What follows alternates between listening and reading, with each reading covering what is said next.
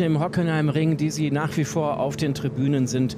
Und schönen guten Tag auch für all diejenigen, die zu Hause uns im Livestream zuschauen auf dem Hockenheimring. Das vorletzte Rennen des diesjährigen DTM Classic Cups.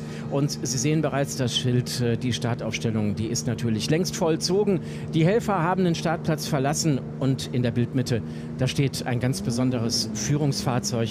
Und was das für ein besonderes Führungsfahrzeug ist, das weiß ein Mann, der mit mir hier in der Combox sitzt, der eigentlich jetzt dort unten in der Startaufstellung als Tabellenzweiter stehen müsste, der eigentlich um die Meisterschaft kämpfen wollte jetzt an diesem Nachmittag Nachmittag. Aber Marc Hessel, schönen guten Tag. Du sitzt hier oben bei mir. Was machst du hier oben? Hast dich im Weg vertan?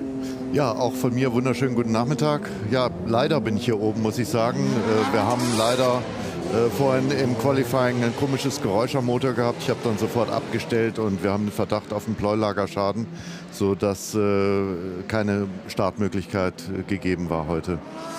Ja, und ähm, dann haben wir gesagt, ähm, eine kleine Beschäftigung solltest du dann ja doch an diesem Nachmittag haben. Und äh, hier oben als äh, ehemaliger DTM-Pilot ähm, unsere Combox als Experte bereichern. Ist das für dich eine neue Erfahrung, hier im Studio zu sein? Ja, das ist äh, wirklich eine Premiere, das erste Mal. Also insofern äh, schon eine, eine, coole Erfahrung. Allerdings hätte ich es mir äh, gerne anders gewünscht dafür als ähm, äh, gerade heute, wo ich gerne im Feld um, äh, um, um die Meisterschaft natürlich dabei gewesen wäre.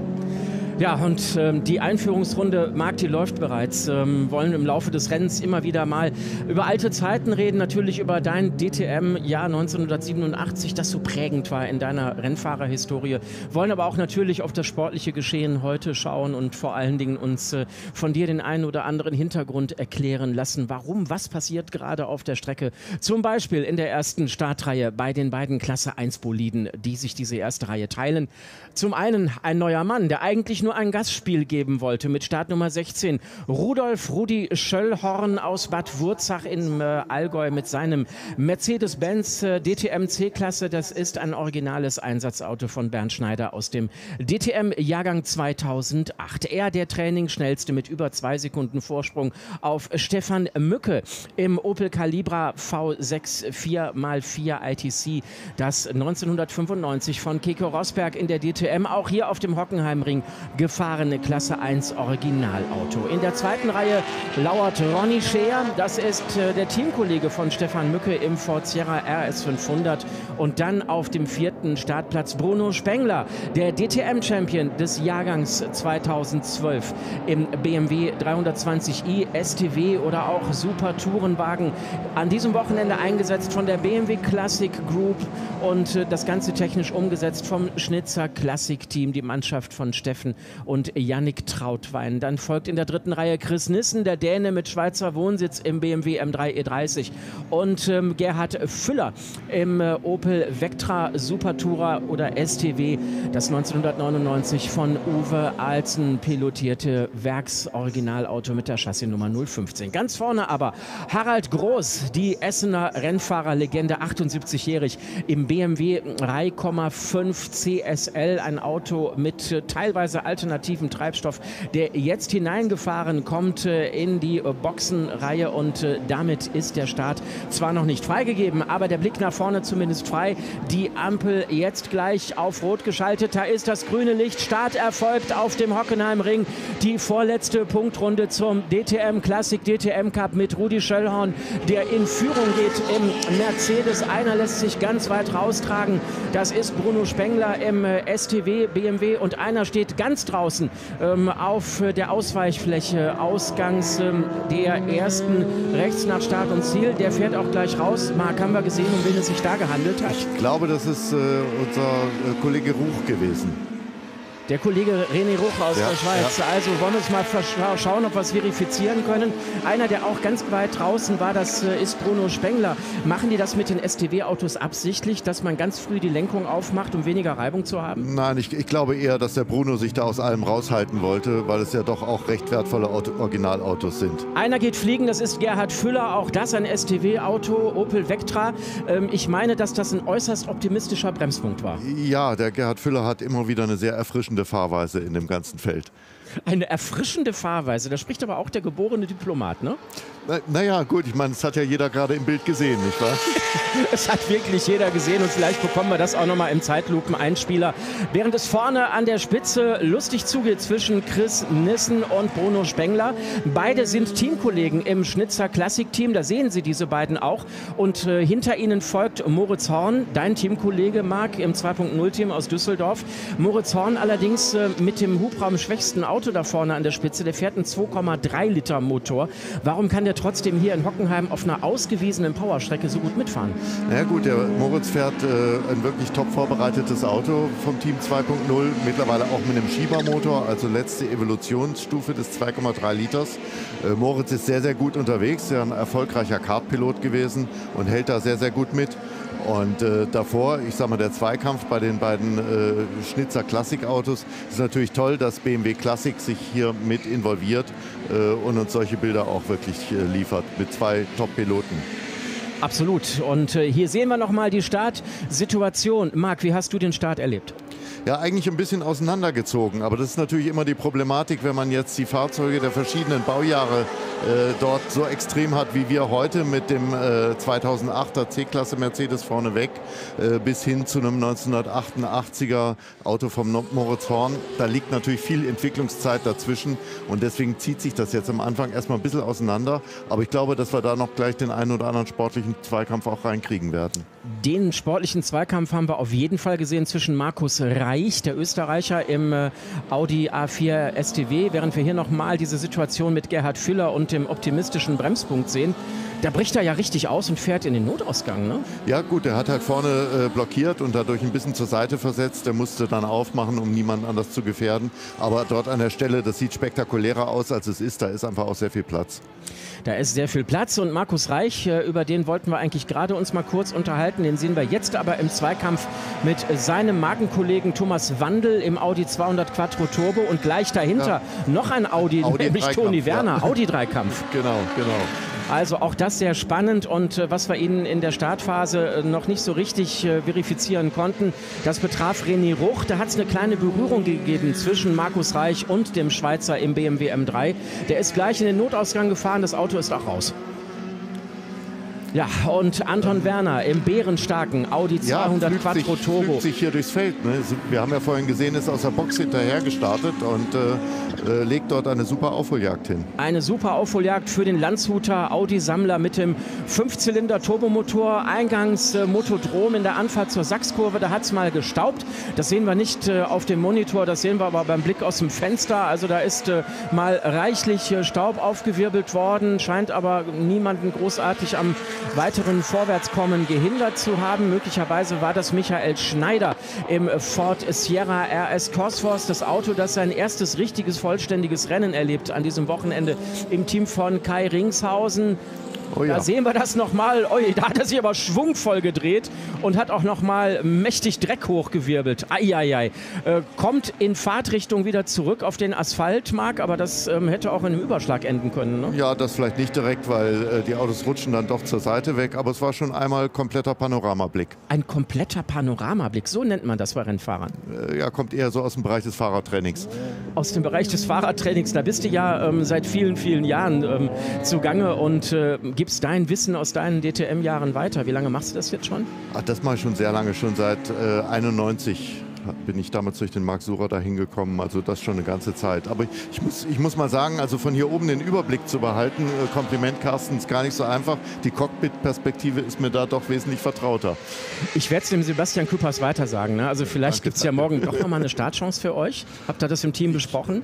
Wir arbeiten dran, aber ich glaube nicht glaube nicht, dass das realistisch ist. Also das heißt, der Lagerschaden, dieser Kurbelwellen-Hauptlagerschaden, dann doch ein bisschen zu riskant wahrscheinlich. Also man schaut zurzeit noch, aber äh, wenn, dann wirklich auch nur ohne Risiko das äh, Fahrzeug fahren zu lassen, weil gerade hier auf den langen Geraden mit viel Drehzahl, wenn da was kaputt geht, dann geht der Motor ganz kaputt und das äh, ist äh, natürlich nicht so, dass wir so Ressourcen haben wie früher die Werksteams, äh, sondern da sind wir dann doch ein bisschen begrenzt und es ist ja auch alles eine relativ teure Angelegenheit. Also in deiner aktiven Zeit, 1987, als du als BMW Junior gemeinsam mit Erik van der Poele zu Zackspeed kamst, wie viele Reservemotoren hattet ihr denn da? Also ich kann mich an einige Wochenenden erinnern, wo wir äh, pro Fahrer drei Motoren auch gebraucht haben.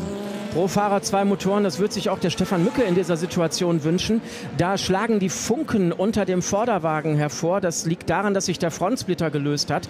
Der schleift jetzt äh, auf dem Asphalt. Das sehen Sie hier in dieser Einstellung nochmal. Ja, da löst sich die Frontverkleidung in ihre Einzelteile auf. Sehr wahrscheinlich äh, mal ganz kurz über den Korb geräubert und ja, dann knackt's. Ne? Das sind hier die Korbs, auch diese, diese äh, orangen äh, Sausage Korbs, die hier liegen, die sind relativ hoch. Und da beschädigt man sich so einen Frontsplitter natürlich. Sieht sehr spektakulär aus, hindert Stefan Mücke aber im Augenblick nicht an der Weiterfahrt. Sein Rückstand auf den gesamtführenden Rudi Schöllhorn im Mercedes-Benz 8,5 Sekunden. Und ähm, die Mücke Motorsportmannschaft versucht ja Kilometer auf dieses Auto zu bekommen, äh, das in diesem Jahr so schwer in den Griff zu bekommen war. Und man sieht richtig die Entschlossenheit, mit der Stefan Mücke trotz dieser äh, ja, zweigeteilten Frontpartie ähm, an den Tag legt auf den Randsteinen. Da wird es mal ganz eng im Rennen, im Rennen. Klasse 5 ist das. Mhm. Da geht auch dein Titelkonkurrent ähm, Olaf Mantei an den Start. Autos der ersten Stunde der deutschen Produktionswagenmeisterschaft. Und hier sehen wir so ein Trio, drei BMW 325i Gruppe A, ähm, die sich da durchaus nichts schenken. Ne? Nein, nein, die sind da gut unterwegs. In der Mitte der Thorsten Horn, der da richtig beherzt unterwegs ist. Also ähm, der hat sich auch in diesem Jahr auf dem Auto unheimlich gesteigert. Und es ist ja eine Klasse gewesen, die äh, erstmalig ausgeschrieben worden ist. Ähm, bisher mussten die ja bis 1988 inklusive fahren, sind jetzt in einer Klasse unter sich. Und äh, es hätte niemand gedacht, dass das die starterstärkste Klasse werden würde, in der eben halt auch Olaf äh, seine Punkte gesammelt hat. Aber äh, ich sag mal, äh, mit, mit, Olaf haben wir auf jeden Fall äh, einen, einen, einen würdigen Meister, der das Ganze am Schluss gewinnen wird. Jetzt hast du schon so ein bisschen vorweggenommen. Ähm, dadurch, dass du jetzt hier oben bist und nicht am Lenkrad drehen kannst, ist das mit der Meisterschaft jetzt entschieden? Ja, das ist damit äh, natürlich durch. Wir haben zwar zwei Streichergebnisse, aber auch da bereinigt. Äh, Wäre ein Unterschied von äh, drei Punkten gewesen, die mir gefehlt haben. Und dadurch, dass ich jetzt nicht am Start stehen konnte, hat sich das äh, leider äh, erledigt. Olaf Mantei, dein ehemaliger Bonner Nachbar, ihr habt sogar in derselben Straße gewohnt, Pützchens Chaussee hat die geheißen. Der liegt im Moment an 12. Gesamtposition im BMW 635 CSI. Hier aber ein Dreikampf, der eigentlich aber auch so ein Überholmanöver ist wie auf der Autobahn. Ne? Thomas Wandel in diesem PS-gewaltigen äh, Audi 200 Quattro Turbo, der fährt da an äh, Nico Wittmann vorbei und äh, an Markus Reich, äh, zumindest in den geradeauspassagen, als wäre es wirklich die Überholspur auf der Autobahn. Beim Rausbeschleunigen, da hat er dann aber schon so seine liebe Not, ne? Ja, nun gut, ich meine, man, man muss sehen, wir haben hier natürlich die Schwierigkeit, dass unterschiedliche Klassen und Charaktere zusammengefasst sind. Nicht immer nur im Sinne der alten DTM, weil da hat man ja eine sogenannte klassenlose Gesellschaft gehabt. Hier gibt es auch einige Turbos, eben halt als schwarze Audi ist ja auch ein Turbo, die auch ohne Restriktor unterwegs sind. Für die ist eine eigene Klasse geschaffen worden. Äh, damit die fair fahren können. Äh, aber das sieht natürlich im Vergleich gegen einen Sauger äh, BMW 2,5 Liter oder 2,3er, wie er dort unterwegs ist, da sieht der BMW natürlich alt aus. Da haben wir keine Chance. Aber ähm, zumindest in den Kurven sieht der Nico Wittmann aus Fürth im Frankenland gar nicht so alt aus. Es ist übrigens der Bruder von Marco Wittmann, dem DTM-Doppelmeister, den wir vor zwei Stunden ja noch im aktuellen Scheffler BMW M4 gesehen haben. Ähm, also in den Kurvenpassagen, da kann er sich jetzt auch äh, absetzen ab. vor ja. diesem ja fast doppelt so starken Audi. Also 600 PS im Audi, 300 PS im BMW.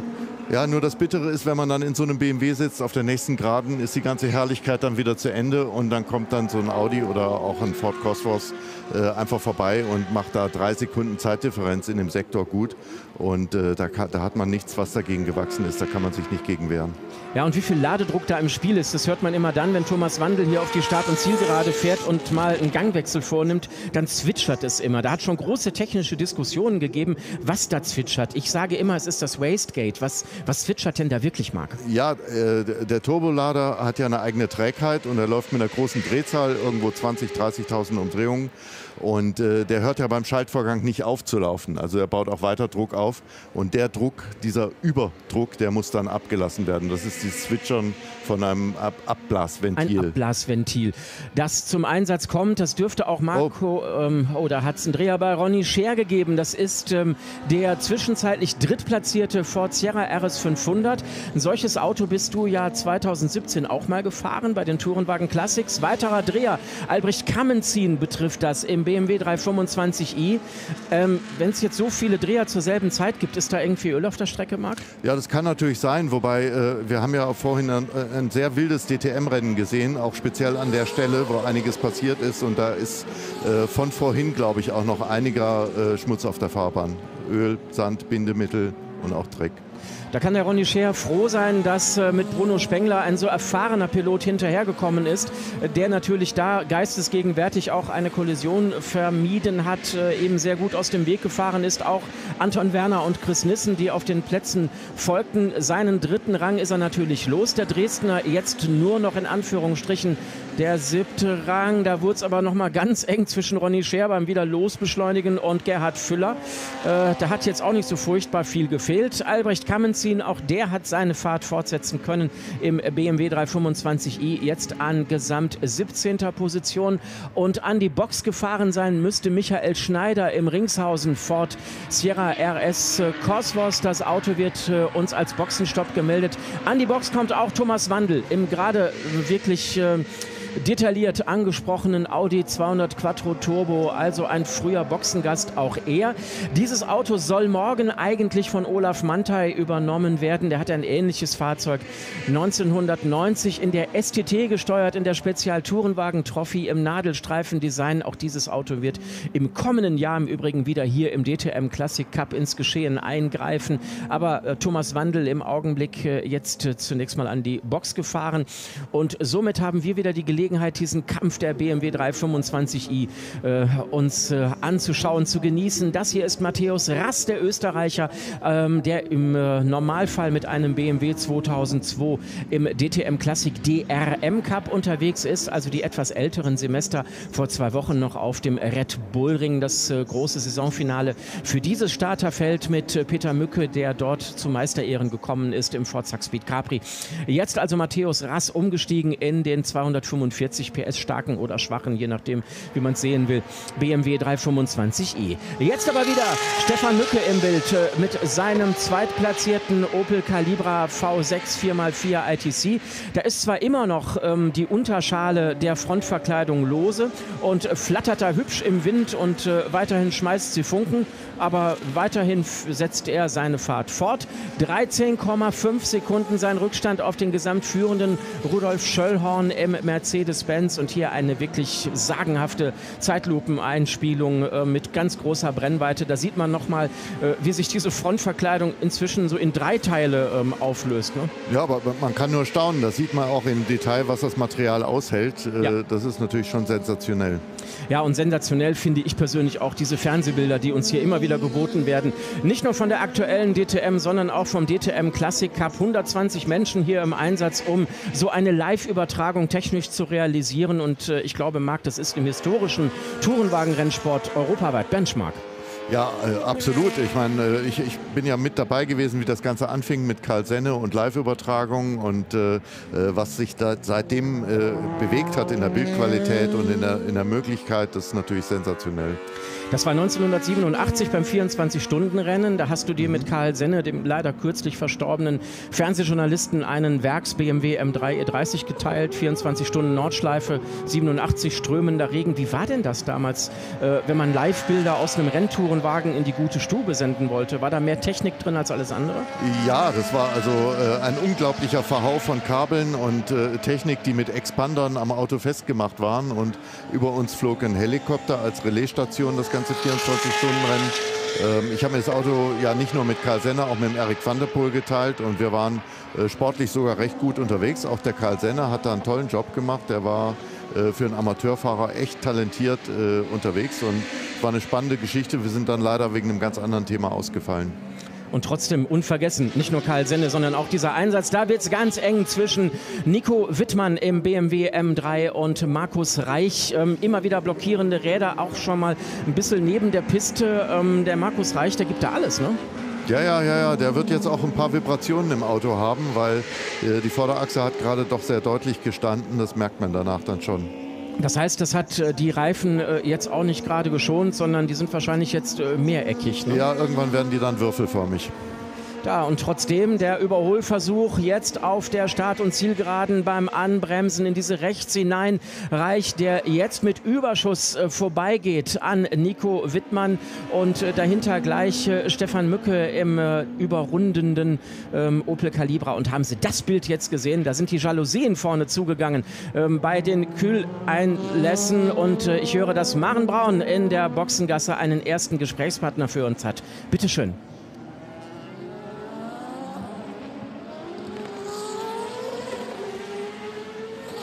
Strecke präsentiert hat mit dem tollen Rundumblick, wie Mark Hesse so schön sagte. Und der Fahrer ist eben auch hier, Michael Schneider, da steht da natürlich nicht besonders gut gelaunt, denn lieber wärst du jetzt da draußen auf der Strecke, würdest ins Renngeschehen eingreifen. Was ist los? Ja, so wie es aussieht, ist der Motor kaputt. Hat Wasser, hat Wasser verloren und so weiter, ist er heiß geworden. Dann haben wir lieber abgestellt, bevor mehr kaputt geht. Okay, du hattest ja bis hierhin schon ein ziemlich aufregendes Rennen. Wir haben da einen Dreher von dir gesehen, mitten auf der Strecke.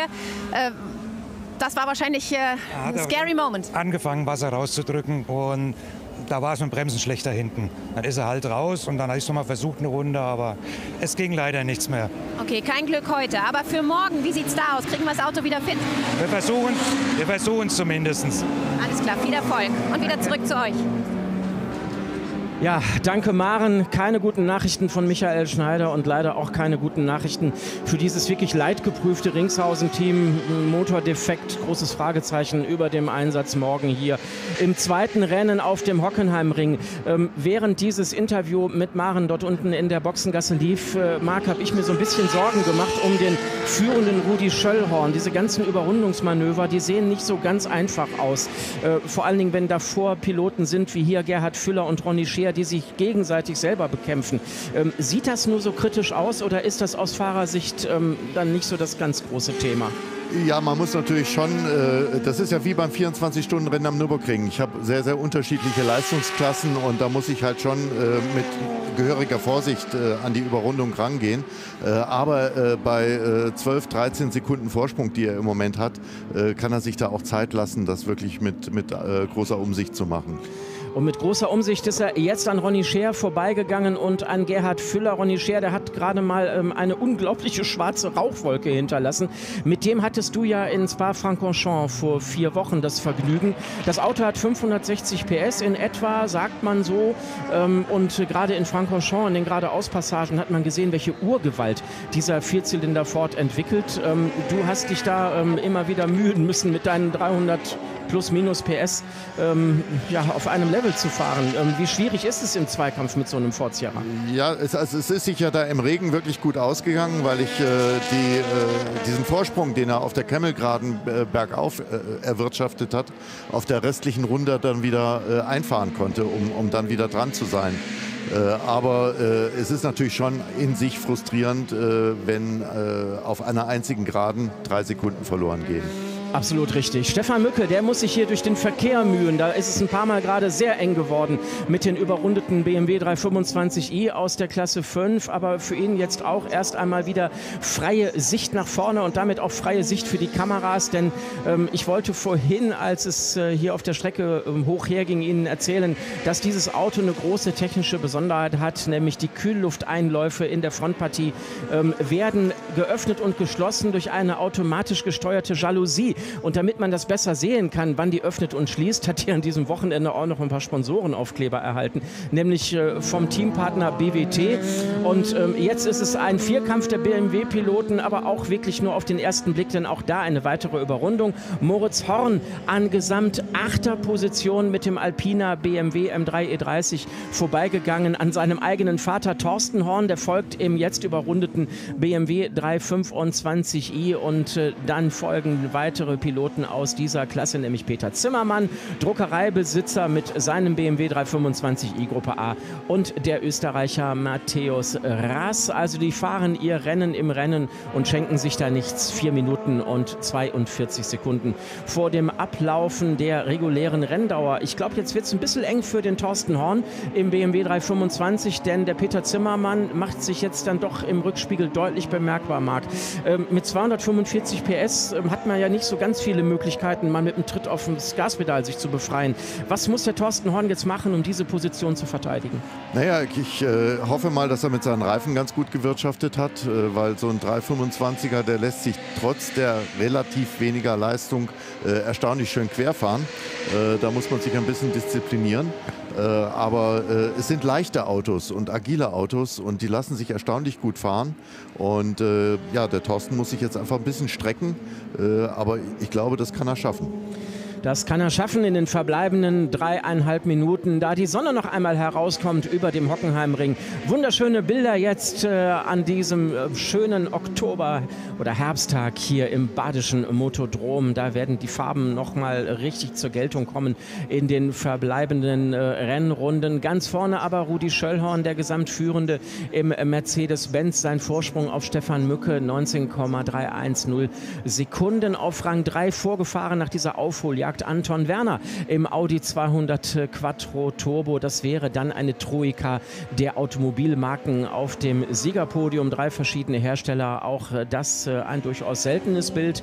Hier sehen wir noch einmal Markus Reich im Audi A4 STW. Der ist ebenfalls jetzt äh, an dieser Kampfgruppe vorbeigekommen mit den BMW 325ern. Markus Reich liegt an gesamt neunter Position, ähm, hat Nico Wittmann im BMW M3 jetzt dann doch ein Stückchen hinter sich lassen können. Ähm, und äh, jetzt ist es passiert. Peter Zimmermann vorbei an Thorsten Horn. Also dieser BMW-interne Kampf ähm, durchaus unterhaltsam. Da sehen wir Nico Wittmann im Bild. Äh, der überrundet gleich diese beiden BMW 325i-Piloten im äh, gesamt zehntplatzierten BMW M3 E30 DTM. Das geschieht jetzt möglicherweise schon. Nein, das steckt da zurück. Ähm, sowohl äh, Peter Zimmermann als auch Thorsten Horn ähm, haben da noch einmal den Vortritt. Jetzt ist es aber soweit beim Herausbeschleunigen aus der engen Haarnadel. Da kann Nico Wittmann zunächst einmal an Thorsten Horn vorbeigehen. Geht da auch kein großes Risiko ein, möchte dieses bildschöne Auto natürlich unbeschädigt lassen, damit äh, morgen dann sein Vater Herbert Wittmann übernehmen kann und äh, dann ist die Familienfeier komplett. Äh, denn der Bruder Marco Wittmann natürlich in der DTM am Start, auch morgen hier auf dem Hockenheimring. 19 Piloten ähm, sind in dieses Rennen eingestiegen, einer ausgefallen gleich zu Beginn, nämlich René Ruch. Ähm, 18 Piloten werden hier noch äh, als klassiert gemeldet, aber da gibt es einen nächsten dicken Abflug für Markus Reich und da wird es verdammt eng für die Nachfolgenden. Das ist Einfahrt Motodrom. Markus Reich ähm, steht still, kann sich da nicht wegbewegen, gelbe Flaggen geschwenkt. Das bedeutet natürlich, dass die anderen Piloten jetzt gewarnt sind, Marc, aber das wurde gerade mal verteufelt eng, oder? Das war jetzt schon eng ähm, und ähm ja, mich wundert auch, dass er, dass er nicht loskommt. Ähm, steht da natürlich an einer sehr ungünstigen Stelle. Jetzt hoffen wir mal, dass das nicht noch zu einem Abbruch führt. Äh, aber ich glaube, vom Blick aus dem Fenster er hat sich selber befreien können. Also er scheint, ja, er ist jetzt in der Sachskurve, er hat sich tatsächlich ähm, selber wieder befreit. Aber da gibt es natürlich ein anderes Thema, da liegen jetzt lauter Kieselsteine auf der Straße, ähm, die die anderen Piloten möglicherweise auflesen können. Und dass das auch mal zu Motorschäden führt, haben wir in diesem Jahr auch schon miterlebt. Ne? Ja, das ist natürlich schon leider der Fall, wenn äh, die Motoren ohne Filter gefahren werden. Auch natürlich Scheiben, Scheinwerfergläser. Äh, die, äh, man muss sich das natürlich so vorstellen, so ein, so ein Slickreifen, wenn er auf Temperatur ist, der hält einen Stein noch viel länger fest als ein Straßenreifen und schleudert den mit viel höherer Geschwindigkeit äh, auf das nachfolgende Auto.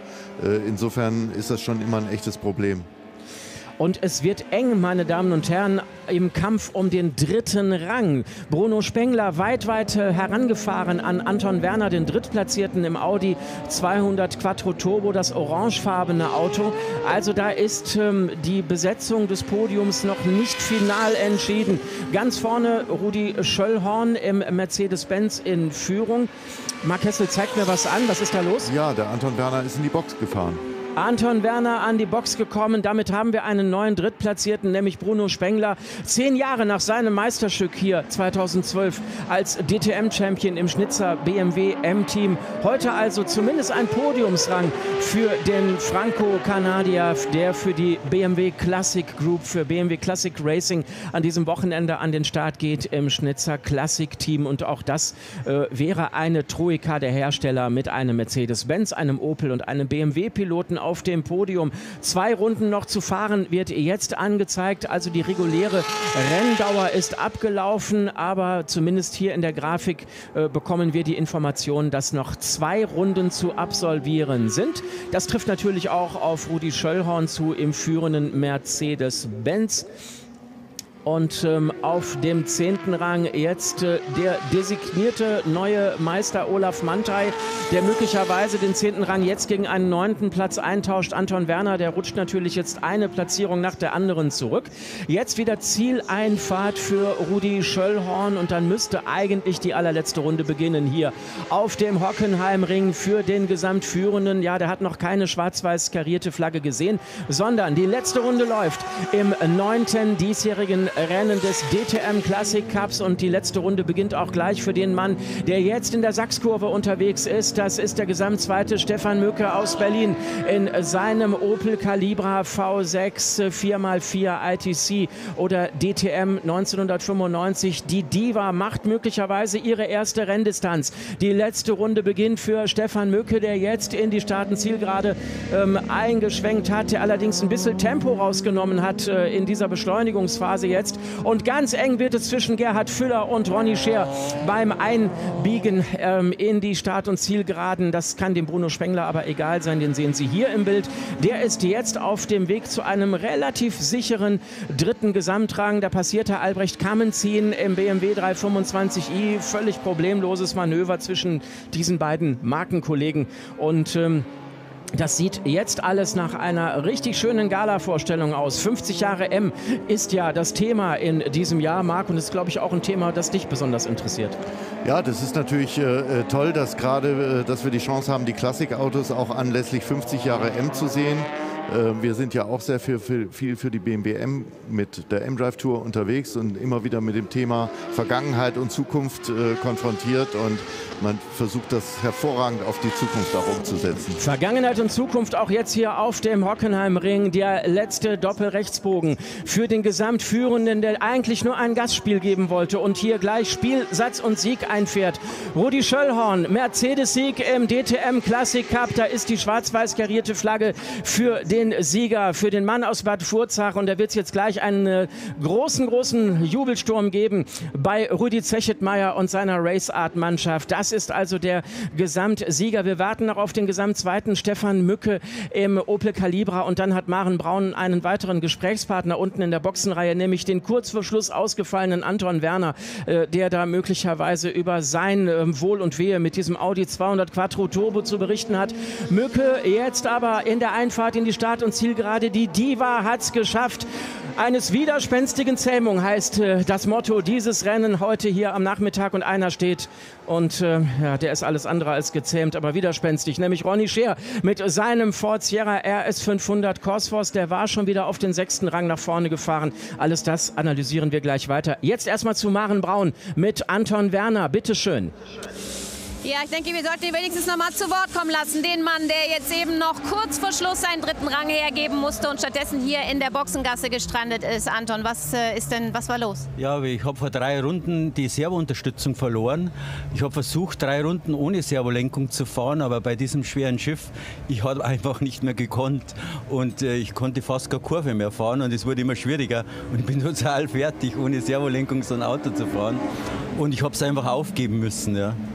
Äh, ich denke, keine Schande, denn das ist harte Arbeit, die ihr da machen müsst in diesen Cockpits. Aber bis dahin ein, ein wirklich tolles Rennen. Ähm, so far, also abgesehen vom Ergebnis, trotzdem einigermaßen happy mit den Eindrücken heute da draußen? Ja, das macht Spaß, so einige zu überholen. Man hat immer so einen Kampf. Ist vielleicht sogar schöner, als wir vorne wegfahren. Also er strahlt immer noch. Das ist doch toll zu sehen. Und wie gesagt, Hut ab vor der Leistung, äh, die hier in diesen Cockpits erbracht wird. Danke, Maren. Und ich muss eines sagen, auch wenn es mir für den Anton Werner furchtbar leid tut, dass er ausgefallen ist, aber ich habe selten so einen sympathischen Ausfallgrund gehört. Drei Runden ohne Servo gefahren, platt wie eine Flunder, keine Kondition mehr. Ist dir das auch schon mal passiert, Marc? Ja, ja, also kann ich durchaus nachvollziehen. Ich, äh, also bei uns in unserem Auto haben wir keine Servolenkung, aber es ist natürlich ein bisschen kleiner und agiler. Äh, aber ich habe auch schon mal so 635er ohne Servolenkung fahren dürfen. Äh, das ist schon ein mittleres Bodybuilding-Studio. Ein mittleres Bodybuilding-Studio. Und damit schauen wir mal hinein in die Top Top 10 bei diesem neunten Lauf des DTM Classic Cups. Rudi Schöllhorn gewinnt dieses Rennen mit einem Vorsprung von 36,598 Sekunden vor Stefan Mücke, der zum ersten Mal im Opel Calibra über die volle Distanz geht auf dem zweiten Gesamtrang. Rang 3 für Bruno Spengler im BMW 320i aus dem Schnitzer Classic Team. Da wird es äh, großen Jubel auch im Schwarzwald geben, nämlich in Schiltach. Dort sind Steffen und Yannick Trautwein zu Hause. Rang 4 für den Teamkollegen des Schnitzer Classic Teams, nämlich für den Dänen Chris Nissen, der seit zehn Jahren in der Schweiz lebt. Deshalb auch eine Schweizer Flagge in der Grafik. Rang 5 Gerhard Füller im Opel Vectra STW. Und Marc, du hast die Ehre, die nächsten Plätze 6 bis 10, bitteschön. Ja, auf Platz 6, das freut mich ganz besonders, äh, ist der Moritz Horn, mein Teamkollege mit seinem wunderschönen Alpina. Dann äh, Nico Wittmann, äh, auch ein tolles Ergebnis, direkt dahinter auf 7. Auf 8 dann Ronny Scher, der ja kurz vor Schluss auch noch stehen geblieben ist, also leider ein bisschen unter Wert geschlagen. Und äh, dann der Herr Reich mit seinem Audi, der ja auch für ganz viel Kurzweil während des Rennens gesorgt hat. Und auf 10 dann Olaf Mantei, der, wie es ja aussieht, äh, der neue Meister ist. Ja, und eigentlich können wir jetzt sagen, ähm, vor allen Dingen so aus deiner Sicht ähm, äh, mit eurer Bonner Geschichte, ähm, Applaus für den neuen Meister, Olaf Mantei.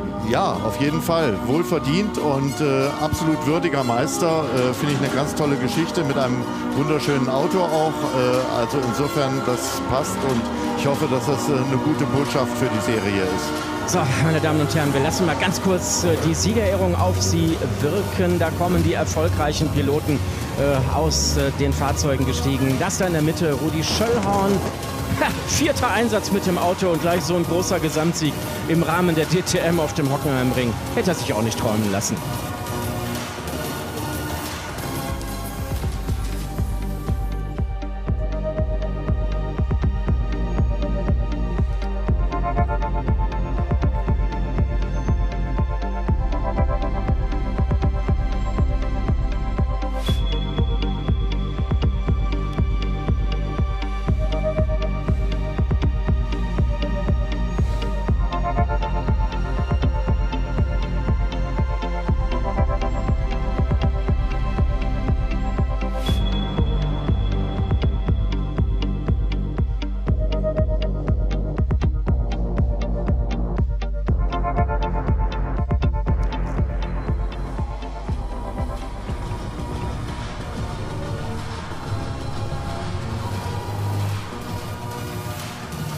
Tja, und auch das Bild wollen wir Ihnen nicht unkommentiert lassen. Stefan Mücke, das ist der Mann in der roten Dekra-Kappe, im Gespräch mit seinem Vater Peter Mücke, der war vor zwei Wochen noch bei uns am Red Bull Ring in der Combox als Experte dabei.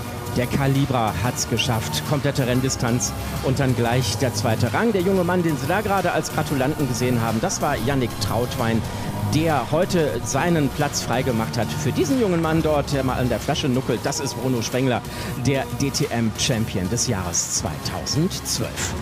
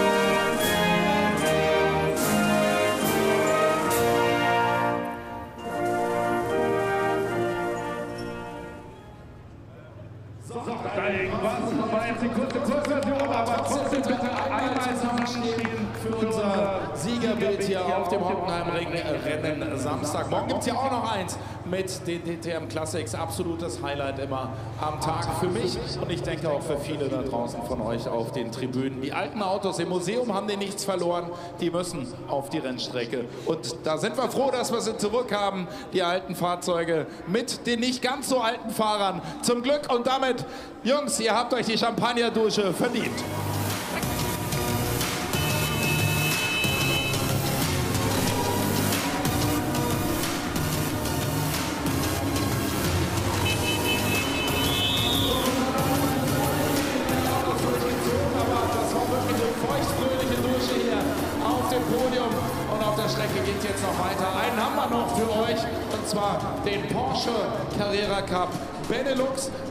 Viel Spaß. Ich melde mich gleich nochmal. Ja, das war das neunte Rennen des DTM Classic Cups ähm, mit äh, einer Markenvielfalt äh, unter den ersten drei Mark und ich glaube äh, auch mit ganz schön vielen spannenden Szenen. Dein Fazit dieses Rennens?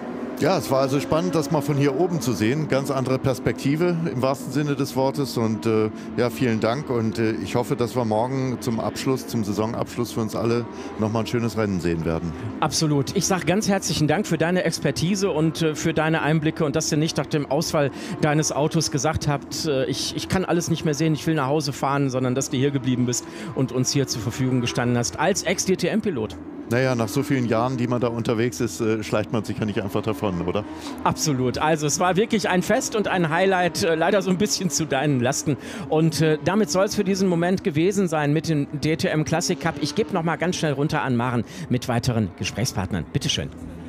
Klar, denn wir wollen natürlich die Siegerstimmen noch einsammeln. Und ich habe jetzt mal den ersten gleich abgegriffen, nämlich der Stefan Mücke, ähm, bevor die hier alle verschwinden. Stefan, die Diva ist ins Ziel gekommen, endlich. Dieses Auto, das ich ja so sehr liebe und viele andere auch, äh, hat euch ja auch viele Sorgen gemacht äh, dieses Jahr. Aber jetzt hat alles gepasst heute, oder? Ja, absolut. Also vielen Dank an das Team. Haben wirklich eine super Arbeit gemacht. Es waren ein paar harte Wochen hinter uns.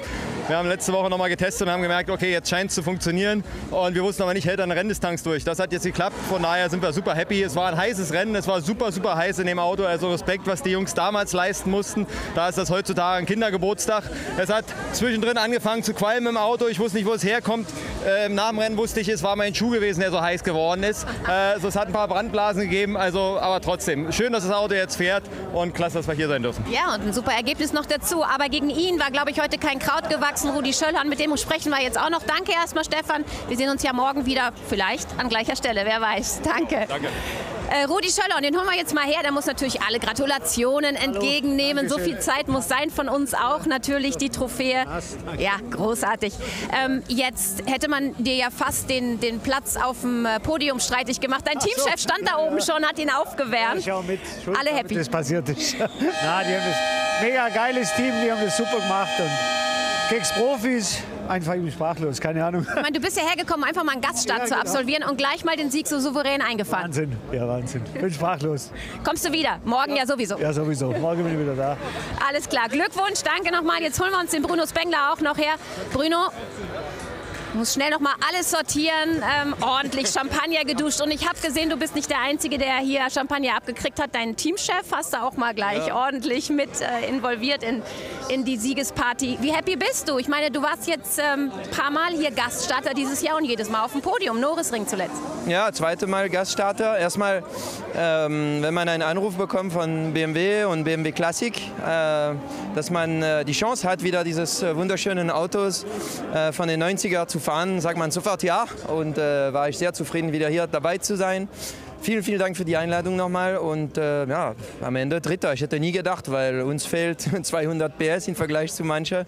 Ist ja eine andere Klasse, aber Gesamt Dritter ist ja sensationell für alle Leute, fürs Team und für Schnitzer Klassik. Ist mega. Auf jeden Fall. Der Anton Werner, ähm, der vorher auf Platz 3 war, der ist ja hier in der Boxengasse gestrandet. Meinst du, es wäre auch so ein Kraut gewachsen gewesen gegen ihn? Hättest du ihn auch so erwischt oder war da jetzt auch ein bisschen Glück im Spiel? Ja, ich glaube nicht. Er war auf der Gerade einfach viel zu schnell. Ich habe ein bisschen aufgeholt am Ende, Ja, das haben wir gesehen. aber er war auf der Gerade geradezu viel zu schnell. Also ich hätte viel riskieren müssen, ihn zu überholen und er hätte mich wahrscheinlich wieder überholt auf der Gerade. So ohne sein Problem, ich wäre wahrscheinlich Vierter, was auch sehr gut gewesen wäre. Okay, aber jetzt bist du Dritter, das ist noch besser. Wir freuen uns mit dir und sehen uns ja morgen noch mal wieder. Schön, dass du da bist, Bruno. Glückwunsch. Alles klar.